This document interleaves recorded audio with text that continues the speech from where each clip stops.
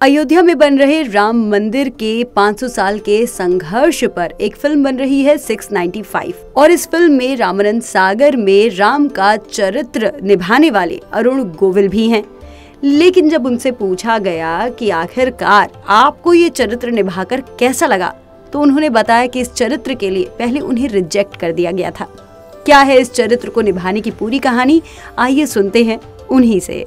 ये था मेरे लिए। इसलिए कि आ, मैं रामानंद सागर साहब के साथ पहले भी काम कर रहा था रामायण से पहले। मैंने उनके साथ एक फ़िल्म भी की थी और एक सीरियल किया था विक्रम और प्ले विक्रम। सो जब ये पता लगा कि रामायण का रामायण वो बनाने जा रहे हैं तो मेरे मन में ये आया था कि मैं भगवान राम का चरित्र करूँ। तो मैं चला गया उनके पास। मैंने कहा मुझे भगवान राम का चरित्र करना है। तो वो छोटा पत्ता चश्मा लगा दिया थे बिल्कुल ऐसे ऐसे मुझे देखा, दो तीन बार ऊपर से नीचे। ठीक है, जब समय आएगा तब बताएँगे आप। समय आया, उन्होंने मेरा ऑडिशन लिया और मुझे आउटराइट रिजेक्ट कर दिया गया। आउटराइट मुझे ये कहा गया कि तुम भरत का रोल कर लो, लक्ष्मण का रोल कर लो, ये रोल रोल भी बहुत अच्छे हैं।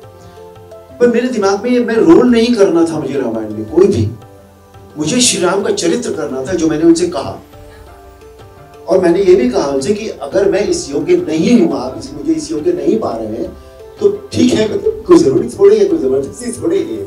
मैं अगर नहीं हूँ इस योग्य तो इट्स फाइन तो बात खत्म हो गई वहाँ कुछ महीने बीत गए, उन्होंने किसी और को मैंने सुना था, ऐसा कि सेलेक्ट भी कर लिया था। पर पता नहीं, मुझे नहीं पता क्या हुआ। एक दिन उन्होंने मुझे बुलाया, घर पर बुलाया और मुझसे कहा कि पंजाबी में उन्होंने कहा था मैं उतनी अच्छी पंजाबी बोल नहीं पाता हूँ फिर भी कोशिश करता हूँ कि अरुण साड़ी जो कमेटी है वो डिसाइड की थी कि तेरा वर्गा तेरे वर्गा राम नहीं मिलना. मैंने कहा sir thank you very much मैं तो आपके पास यही अर्जी लेकर आया था। आपने मुझे वापस बुला लिया है बहुत बहुत धन्यवाद. तो ये डेस्टेंड था बिल्कुल। उसके बाद जो भी कुछ हुआ है। अच्छा उस समय माइथोलॉजी में काम करना भी कोई बहुत अच्छी बात नहीं मानी जाती थी। मैं I was very busy in films दो कमर्शियल फिल्म्स करता था मैं। मैंने अपना करियर 1977 में शुरू किया था और रामायण का पायलट बना 85 में 85 या 86 में। तो अच्छी बात नहीं मानी जाती थी कोई प्रोफेशनली कि आप बहुत अच्छा काम कर रहे हो। तो मुझे मेरे फैमिली ने भी कहा, मेरे मित्रों ने भी कहा कि तुम ये क्या कर रहे हो? तुम फ़िल्मों में काम कर रहे हो, अच्छी खासी कमर्शियल फ़िल्में करते हो, तुम्हारे करियर में गड़बड़ जाएगी, तुम माइथोलॉजी करोगे तो। अच्छा ये भी नहीं पता था कि रामायण इतनी बड़ी हिट होगी। इस बात का तो अंदाज़ा था ही नहीं, बिल्कुल भी। तो मैंने कहा, पता नहीं भाई, मेरे मन में आया है और मुझे ये अब मिल गया है तो आई डू इट और मैंने ये कर उसके बाद जो भी कुछ हुआ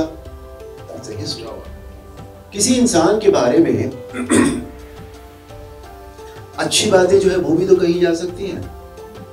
तो ज़रूरी है कि जो बातें डिबेटेबल हैं, वही सामने लाई जाए। ये जिस इंसान, जो इंसान ऐसी बातें कहता है, ये उसकी मानसिकता को दर्शाता है कि वो पॉजिटिविटी में बिलीव नहीं करता। उसको किसी भी तरह से निगेटिविटी पैदा करनी है अपने स्वार्थी रीजंस के लिए।